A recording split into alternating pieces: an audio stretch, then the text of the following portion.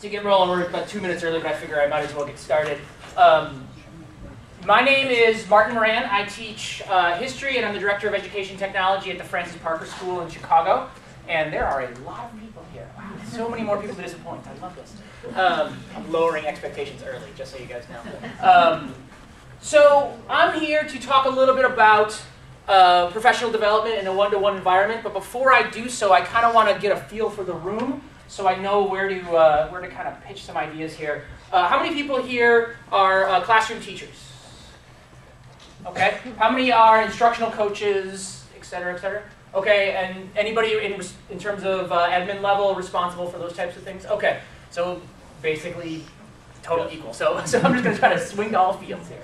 Um, so um, I, let me give you a little background before I get rolling here. Um, my school is in the fourth year of a one-to-one program in our middle school.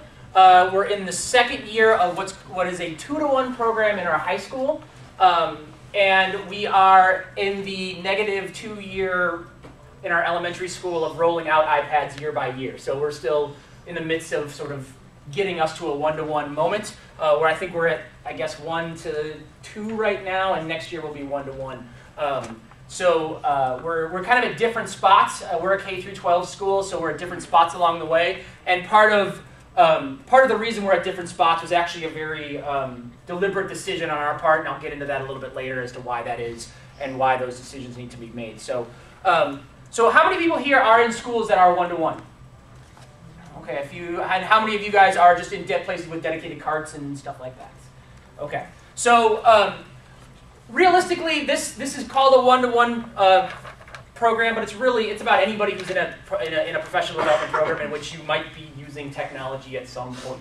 So I would assume that that includes everybody. Um, just because the ubiquity of this stuff, I'm, looking down at my iPad, iPhone, and MacBook sitting in front of me and thinking, oh boy. Um, so, um, so these are the ideas are going to apply across the board, regardless of whether you're in a one-to-one school or if you're if you're in a school that's not one-to-one, or if you're using um, if you're using carts or whatever. Um, and and hopefully, I'm going to kind of walk you through a little bit of our process that we did starting about two years ago, where we started actually getting behind this stuff. Um, to the point where we are now. Um, it's still a work in progress, so by no means do I consider my consider us to be have any expertise uh, relative to anybody else. So um, feel free to ask questions. Feel free to throw out ideas. Um, I'd love to. I'd love to hear uh, from people. If you are a um, if you are a tweeting folk, then um, there will be anything that I'm saying here will be linked out uh, as I'm talking. Uh, hopefully, I've got it timed right. Um, but it's going to be coming out across the next 45 minutes or so. The presentation in its entirety, with some presenter notes, including some links and some narrative stuff, will be available at the very end. So you can get all this stuff. Um, the, the slides themselves aren't going to say much individually, but when you when you actually get the link to the deck, you'll see a, a, big set of notes that'll sort of explain in paragraph form what I was saying there. So rather than bore you with a bunch of text, I thought I'd come up with really cool pictures and, uh, and then use text and then use some text afterwards. So I guess I'm going to start with why, uh, and and this is where uh, this is where I think it's essential to start. How many people has anybody here heard of Simon Sinek? Simon Sinek is a guy who did a TED Talk, and TED Talk is talking about it's, it's meant for businesses, but it's about starting with why. And his, his argument is that most, and I'm going to transform his argument to schools. Most schools know what they do, most schools know how they do it, but very rarely do they get a chance to actually talk about why they do what they do. And, and the argument that he makes, which I find quite compelling, is that if you don't know why you're doing what you're doing, then this stuff is just going to be sort of filling in gaps, and you're going to get a lot of disillusioned people in your staff. Um, that that people are people who are just doing what they're doing and trying to figure out how they get it done, they're not going to buy in, and you're going to have a lot more difficult time trying to figure out how to get these people on board. Uh, so the idea is before you ever start a program like this, and for most of us, we're probably a little bit late on this, is that you have to start by having these types of conversations. Why are we doing this? And, and this is the opportunity for schools to set their agenda on a pedagogical level. The problem is, and this is something that I see over and over again, is that tech programs are all about nouns and not about verbs. And, this is the opportunity to change the conversation from a series of nouns, laptops, desktops, iPads, to verbs, teaching and learning. And, and if you don't start with the why, you're going to get a lot of people who are saying, well, this is just a bunch of fancy equipment. I don't care about this. It doesn't help me teach. I can do all this stuff with pen and pencil.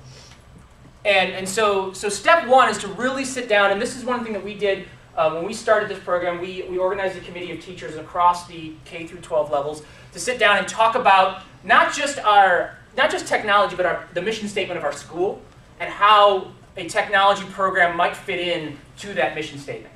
Now, we're, we're lucky in that um, we, are, we are what's known as a progressive school, a very Dewey-based, um, uh, John Dewey-based school, and, and so much of what Dewey said matches up perfectly with all the sort of new, the new concepts of technology. Technology is all about authentic experience and participation in the world and all these things. And that was what Dewey was saying 100 years ago. It just took us 100 years to catch up with the tech. So, so so it worked really well for us to say, well, if we look at this, it actually makes a lot of sense for our school because our school is, is very much on these, these sort of learn by doing models. And before, you know, up until maybe 10 years ago, learn by doing meant learn by doing almost exactly what you would do, but it still has to be differentiated because you're only within this classroom. And now that's totally changed. So now we can actually fully realize these ideas of Dewey. And this is actually one of the reasons, my very first talk that I ever gave on technology was how I love technology because it's insidious. Um, it totally undermines standard standards and testing because it, it promotes the authentic experiences. And then all the people who are, you know, all the politicians love technology because it sounds cool and looks cool and you can see kids doing this. You have wonderful pictures of two kids doing this. Why are pictures? Pictures are always people pointing at things. Um, but politicians love that, but at the same time, all of that experience completely undermines the standardization of like academia and the standardization of testing. It sort of un, it, it promotes constructivist learning, which by its very nature isn't rote. And so, so what I think most schools can realize here is that there's a real opportunity here. If you master this stuff and do it well, you'll serve the political master, so to speak, while at the same time doing what you want to do, which is kind of how I've always taught. You know, make it look good and then do what I want to do anyway. Um, so so that's the that's that's it. But I think that's where the why comes in. But if you don't have that conversation, you'll have a lot of people who are going to assume this is a just another top-down initiative. And so so before anything, this is a this is a human conversation. And, and so technology in the classroom, first and foremost, is a human conversation. Because if it's not, you're going to have a, hard time getting buy-in from some great teachers who just need to see it from a different angle. So that, that brings into what are, what are your themes? And, and I'm, I'm going to say that there are really two 21st century themes that trans-navigate all fields. And, and, those two that I would I'd say are, are most prevalent are adaptability and agility the ability to change and the ability to change quickly. And I think more than anything in the last couple, and especially in the last two to three years, we've seen the, the ability to make adjustments to what you're doing and have spaces, both real and virtual, that can do that, make a school so much better able to serve the needs of kids. It's, it's, not, it's, it's not the program you create, it's the adjustments you make when the program doesn't go perfectly. And, and, and what, what, I've, what I've done is, is, as I've looked at this, is I've seen that, you know, ultimately, and I'll talk about this in a second, that, that you can have all the best technology, you can have, you can have your $1,500 MacBooks and your $500, $600 iPads, all of your all of your stuff. But if you don't have a program that allows kids to make mistakes and explore and then adapt to that, then you've just got really expensive pencils. And and and that's going to do nobody any good. And so so the, the picture that I've got here is actually a picture of, of my classroom during a free period. Um, and and I've and you'll notice there's a little bit of technology in the room, but there's not a lot. There's a projector. The kids have their own. That, that's their own laptops that they're using. And there's a there's a 10-year-old screen back here that we found in the garbage that I thought was awesome. So I decided to use it. It's really big, and the kids thought it was awesome. I'm like, you have no idea where that's from.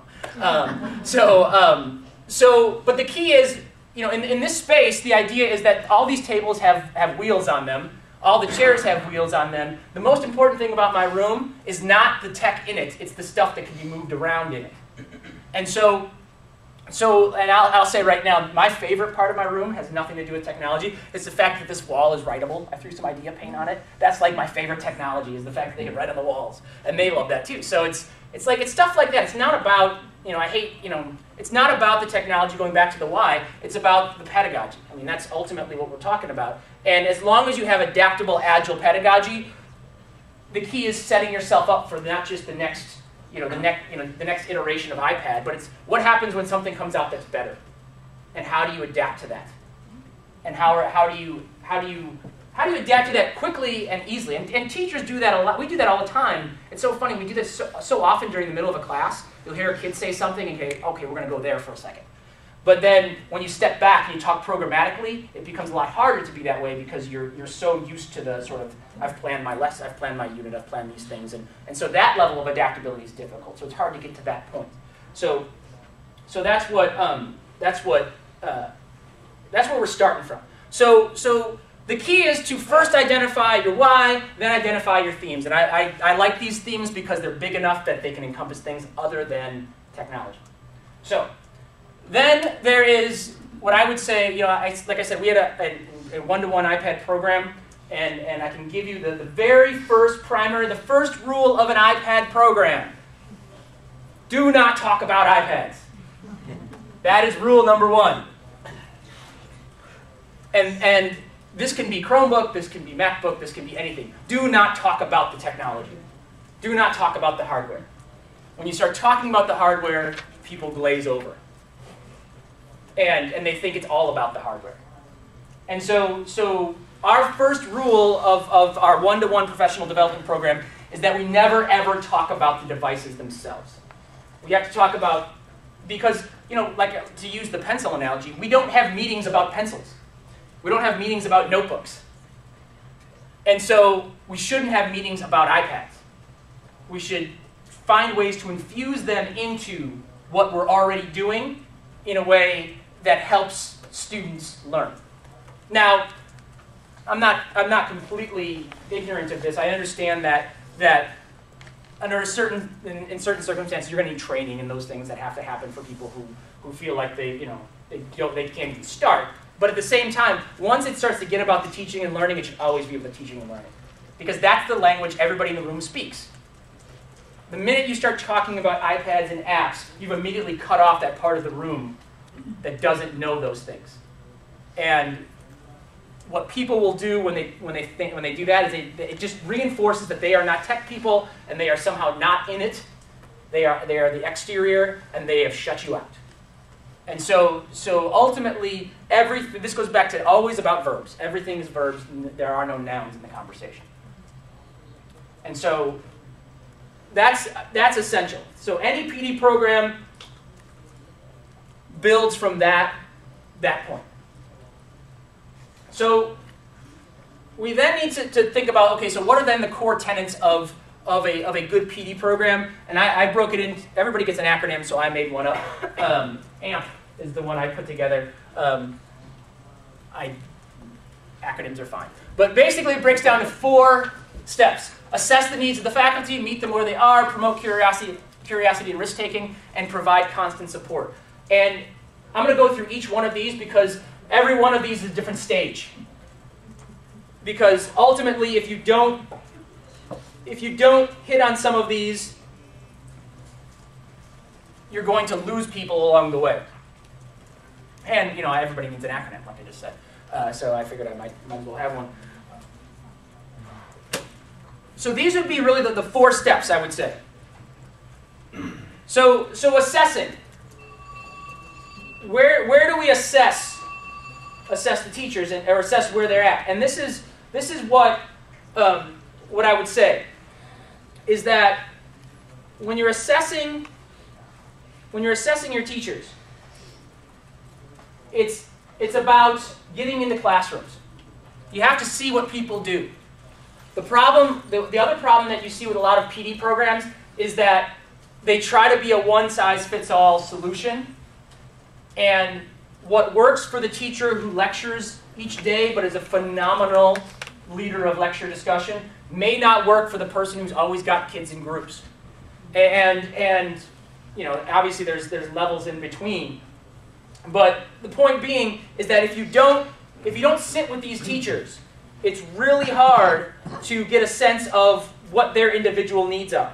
And, and I'll tell you, coming from a, I was a guy who, I taught history for 10, not quite 10 years uh, before I moved over to this position. And I got a reputation as the tech guy, the guy who uses technology and is doing all these things. And, and everybody's got those in the building. You know, some of you are probably that person.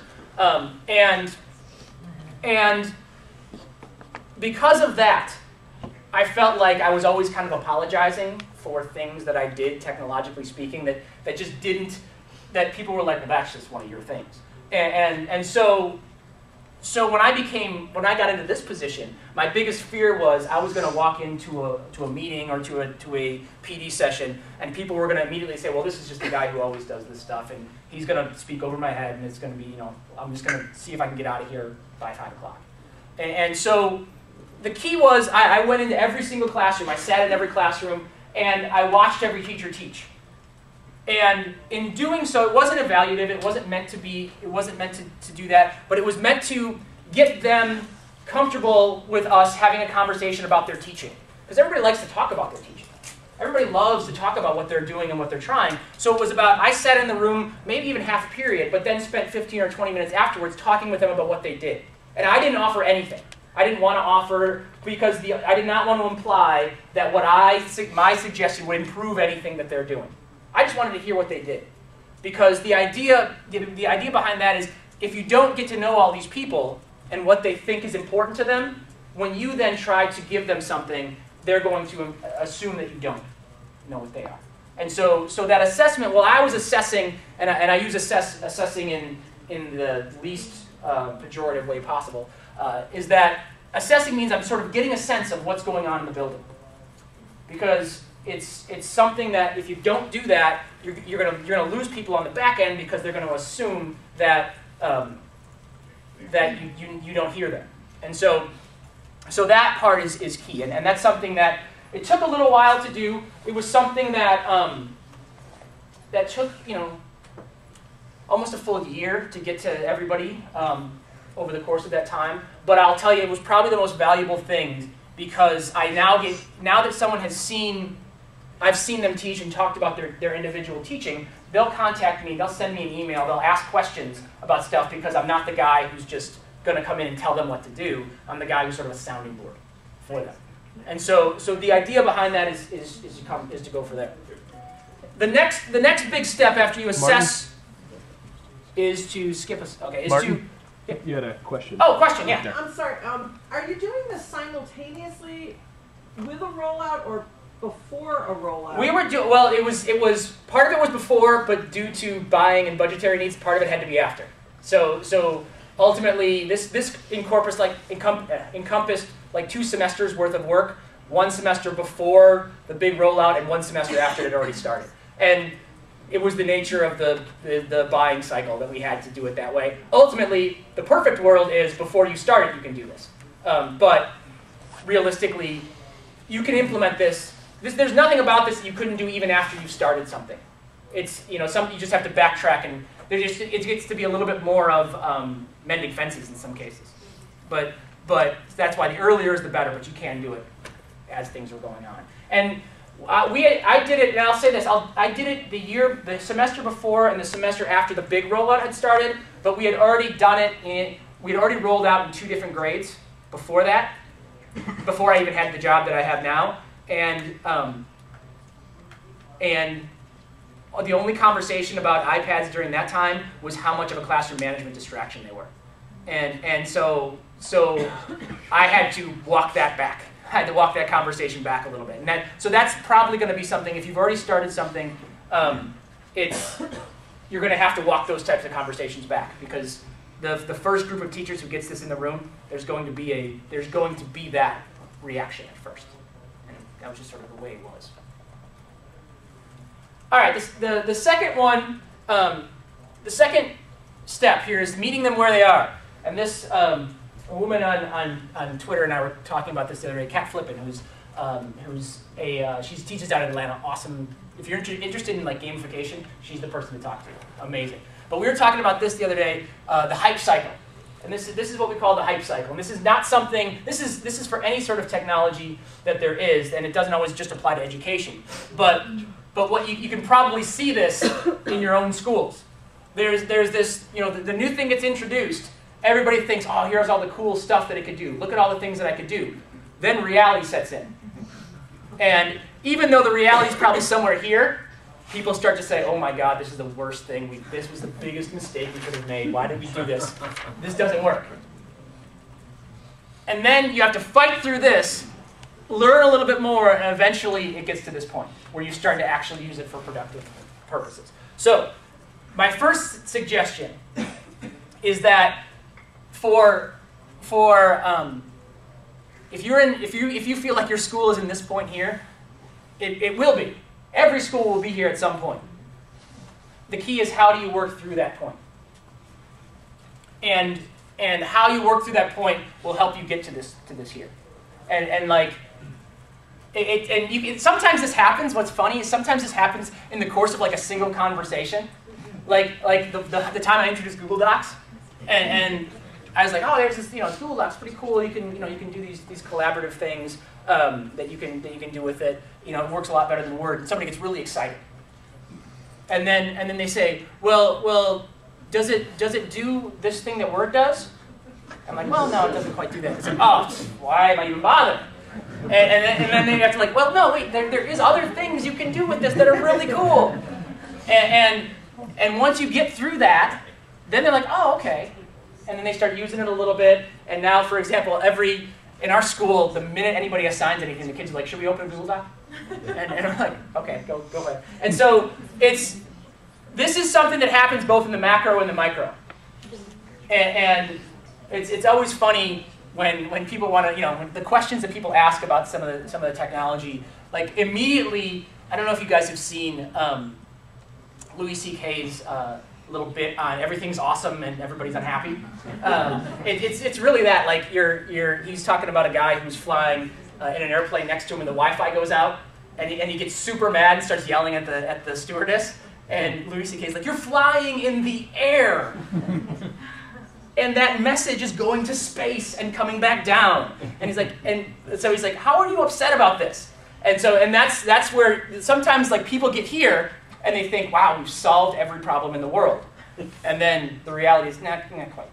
And so, so this is, I would argue that meeting the teachers where they are is a difficult task because you've got those teachers who just are, are here somewhere and just have no interest. And I'd actually argue that they're a little bit easier to, to work with than teachers who are kind of like here, you know, the ones who are really good at PowerPoint and, and, and, and that makes them technologically savvy.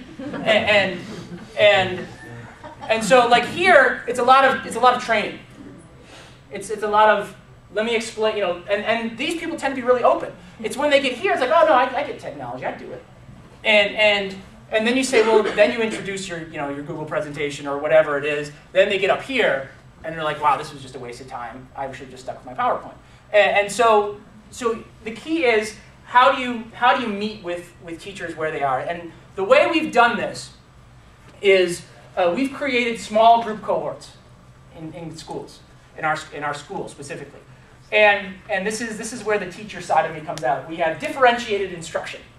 And, and so what we've done is, and after the assessment period, I was able to sort of get a sense of, okay, who was our least tech savvy person in the building? Okay? The person for whom the chalkboard is a little too techy for them. Um, to who's the person who is, you know, who is simultaneously, you know, you know, using, you know, they've got a Google Hangout going on this wall and they're tweeting over here and all that. Who, like, what's the scale, okay? And then basically we just order them, one through, I don't know however many faculty members we had. And we created what are called zones of proximity.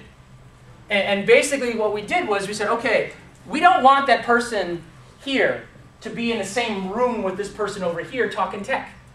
Because this person will be annoyed and bored, and this person will be annoyed and angry.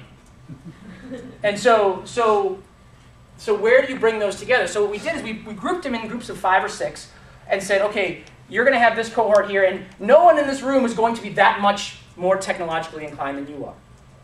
And then the next group, and then the next group, and then the next group. And the idea would be that they would all have the opportunity to learn and teach from someone else.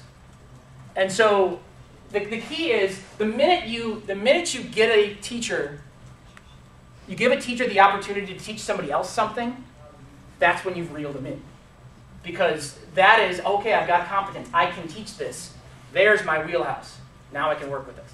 And so so those zones of proximity were, were, were particularly important.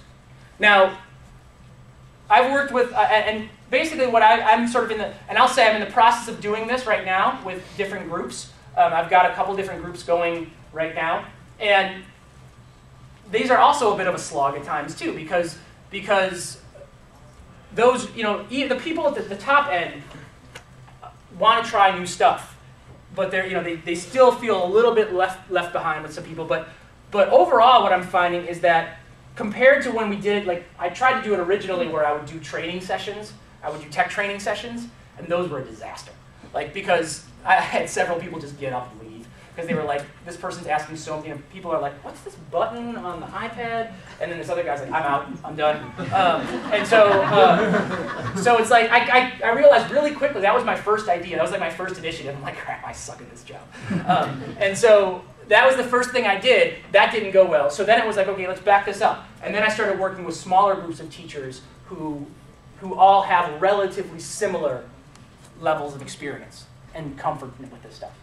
And so so that's where, that's where you can kind of work through some of these things together because they can start talking through these moments. This, when you get into this disillusionment phase, they can talk their way through this stuff. And, and that's, um, that's key because the minute they start teaching each other is the minute you actually start to see things go places. And that's, that's, a, that's a key to it. Any questions at this point? It's good to know. All right. I can't believe I'm hitting it all. All right. The last, the next thing. This is getting tweeted out, but if you're a if you're a QR code folk, there's a thing for this. There's a post on this. This is called promoting.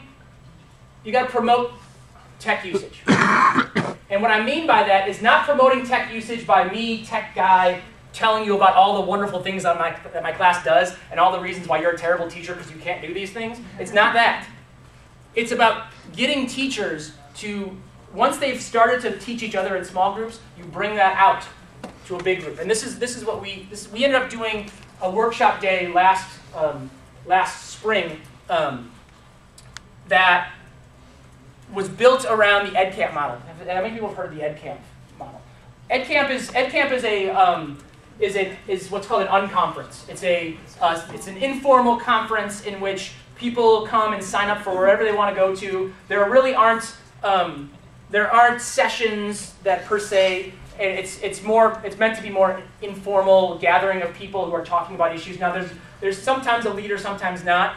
But what we, we, we had to formalize it a little bit because that model itself is a little bit new to people. You don't want to add too many new different things to a, to a single PD, PD day because you'll give people just too much to do.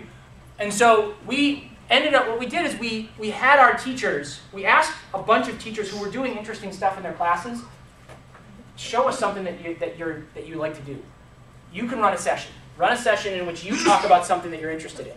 And so we had teachers, all from the most techie to the least techie, talking about their, their stuff. And the, and the, faculty themselves, what we did is we basically said, okay, get here at 8, have some breakfast.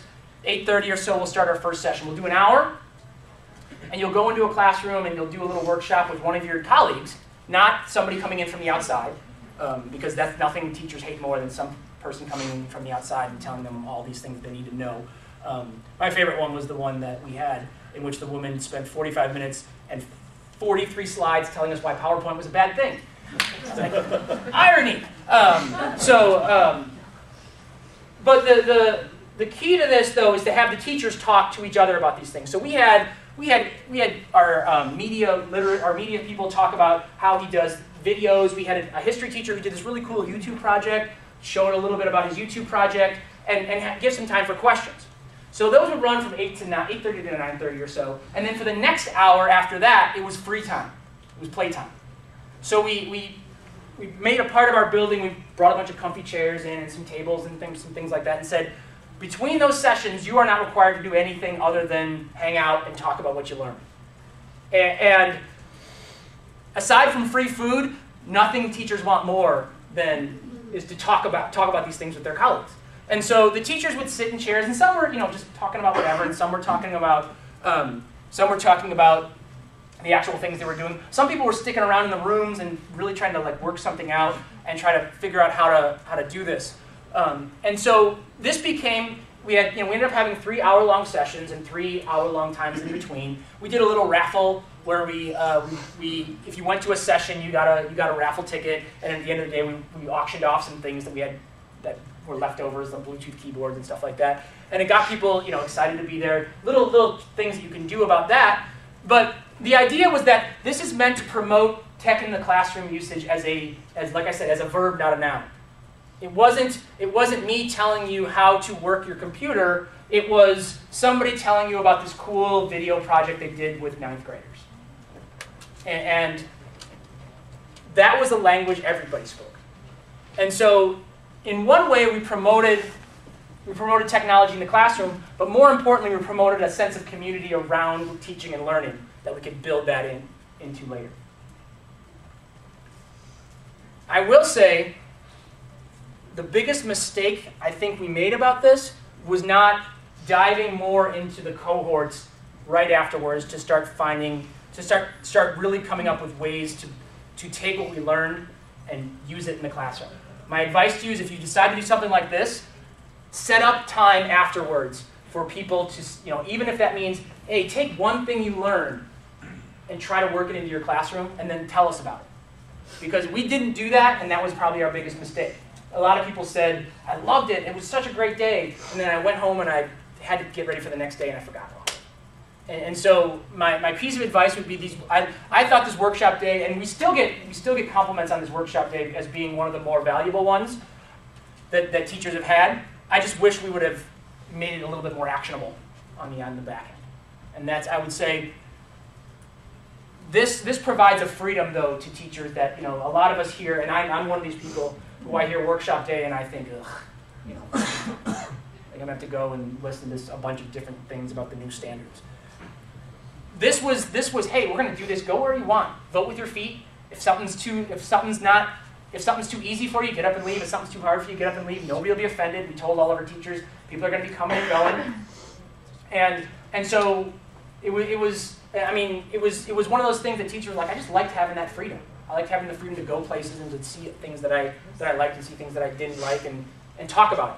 And you know, we set up, we had tables like this with the fancy skirts and everything, and throw some, we threw some Chromebooks on the table so people could play with stuff. We had, um, we had some, there was a uh, Makey Makey, that there, there's a video game people were playing with that they had made, and, and some things like that. So there was just, it was meant to be a playful day with, with learning in it, which the fact that those two things aren't always contiguous, I don't understand. But um, that, that was the idea, was that people should go ahead and play with this stuff. See if it works. If it doesn't, you know, go someplace else then the, the last thing is to provide constant support. After you have, after you get this level of excitement, this is where, this is where that disillusionment can come in. Those days create huge expectations. If you don't follow up with those days, like I said, we didn't, we followed up okay. I think we could have done it better. And it's mostly my fault, I will say that. Um, but after those days, when you start to get people who are inching their, dipping their toe in the water, how you support them will determine how well the program goes.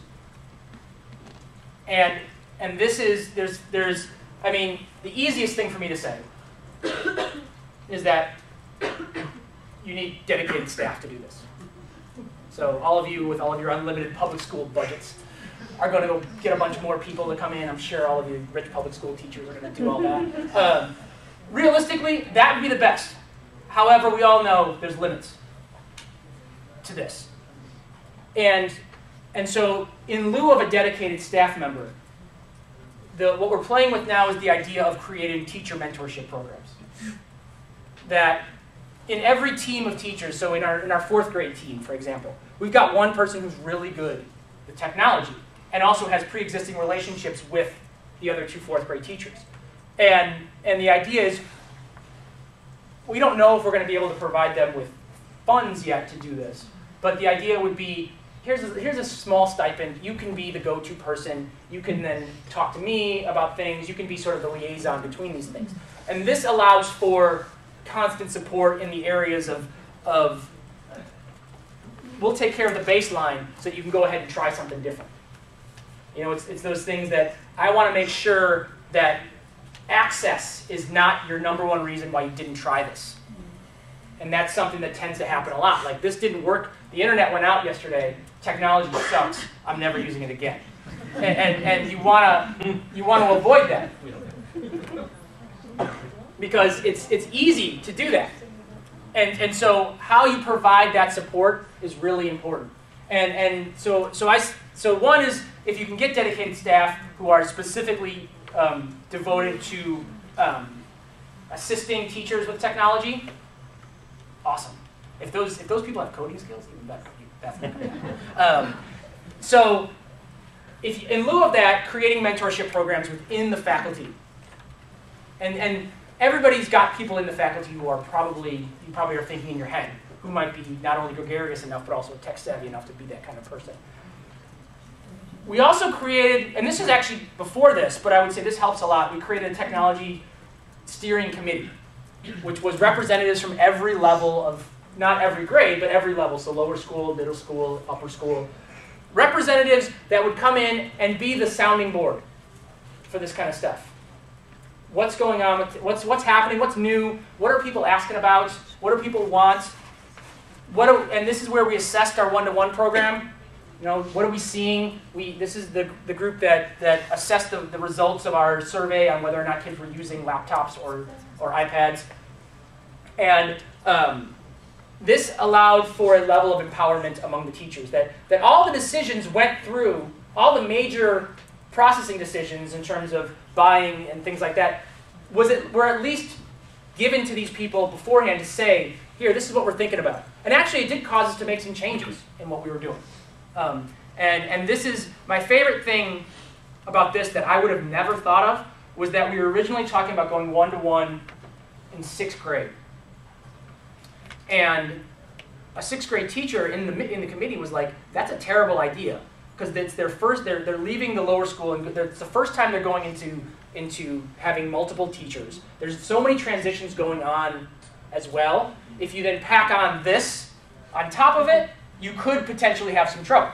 Now, we found, a, I, I, I sort of pushed back a little bit because there's, but there, we found a compromise where we did go one-to-one, but they didn't go home with the kids, whereas they could still use them in the classroom, but they didn't they then became your responsibility to take home as a seventh grader was sort of a new responsibility with each grade. That might not be what your school decides, but I just love the fact that I had to listen to the voice of expertise in the room when it came to sixth graders about what they may or may not need. And so, so having that steering committee was great because it forced me to, to not plow ahead with all my own ideas and actually listen to the voice of, of the teachers who, who were dealing, not just dealing with, you know, because I'm a teacher in the, I'm a teacher in the high school, so I, I, don't, I'm not placing myself outside of that. But someone with that expertise within the, within the grade is, is a valuable thing. And so providing that support, so you've got, you've got, um, you've got staff, you've got teachers who are, who are leaders. I would say the other advice I would give is to come up with a student committee, uh, especially tech-savvy kids uh, who are willing to and interested in being a, um, sort of a genius bar style. I don't know if you've seen schools that are doing this, doing genius bars where kids staff them and help each other and help the teachers out with technology problems. Um, that's a great thing to do. It also gives kids the opportunity to take an active role and be the experts in the room um, about things. And you, you know, when kids get the chance to teach teachers stuff, they love it. Uh, and so, uh, starting a, starting up a genius bar or something like that would be great. Um, if you can do it in the same, you know, if there's a way to, to do it as sort of a work study thing, it's even better. Um, that's, that's another option. And then lastly, the, the one group who I've not yet talked about, but who actually do play a big role in this, is parents. Getting them on board provides a lot of help. I, and, and how I did this is I did a I did tech, parent technology nights every month for the first year of our rollout program. Once a month, I'm going to tell you about something your kids are doing. And what that meant was one, one time it was Google Docs, one time it was Explain Everything, one time it was uh, Evernote. And, what, and it was pretty straightforward. From my standpoint, it was just like me, me going in saying, here's what they're doing, here's what they're using, here's what it looks like when they're not using it, because parents want to know, like, is, your, is my kid always going to play a game? And I can say, well, this is what it does, and if, if, they're, if they're doing, if they're on their iPad and they're doing this, then they're probably not doing what they're supposed to be doing. Um, so it's about, you know, it's about preparing parents for those types of things, because, you know, realistically, the parents are the ones who, you know, they're, they're the ones who have the least experience with this and are the most likely to give pushback when, when things aren't going perfectly. So, so you have to teach them in a lot of ways what's going on. And, and we just did these once a month. And you know, at first it was venting sessions. First month or so, it was parents like, I don't know about this, but but then shortly after that, it became them asking questions. And then I then I get inevitable emails from parents being like, I'm working on this thing at work. I'm a consultant. Um, so, uh, so that would be, so that, that's some, some place to go as well, and that's something I think is, is the other side. The last thing I'm going to mention, we also did, and I stole this from a guy by the name of Carl Hooker in Austin, Texas. Uh, he, he does something every couple weeks called Appy Hours.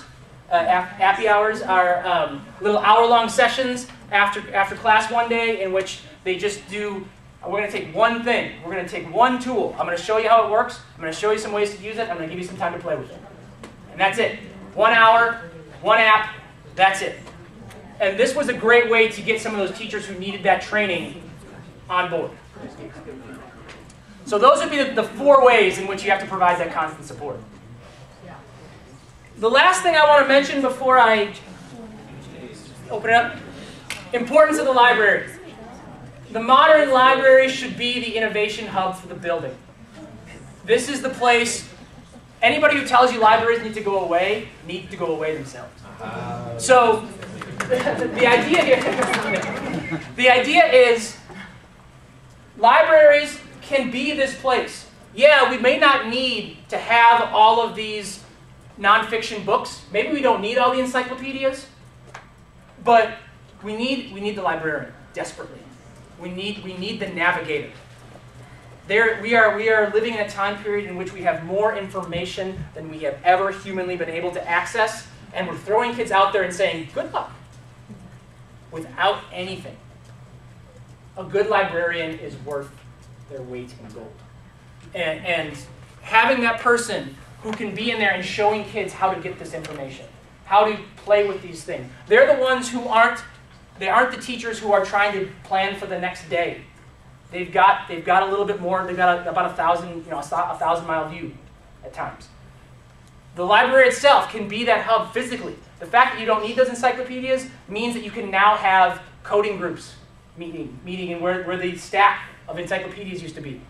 You can, you can put in nice little dedicated areas for kids to read a book. Go figure. this play, in, in, if you're talking about developing a program of technology, you cannot you cannot and should not ever forget the library and its importance. And, and if, you, if you have a good librarian, celebrate them. And, and get them as much training as you can because they will be the person who takes every teacher and makes them better. So, that's about it for me, I think. I think I'm about running out of time. Um, um, yeah, two minutes short. So, um, if you have questions, like I said, I've tweeted out all the links as we've gone. Um, if you have any questions, this is my name, this is my email address, this is my Twitter handle. Um, feel free to touch base. I'm going to be at the PLN Plaza at noon running some speed app sharing, some speed dating uh, with apps at noon. So if you want to come by and find out some new apps from each other, feel free to come on by. But if you have questions, I'll be here for a little bit longer. Uh, happy to do so. thank you for being attentive and not looking incredibly bored.